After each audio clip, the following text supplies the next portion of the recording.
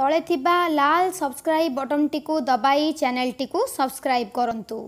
ଏବଂ ବେଲ୍ ଆଇକନ୍ଟିକୁ ଦବାଇ ଅଲ୍ ନୋଟିଫିକେସନ୍ ଅନ୍ କରନ୍ତୁ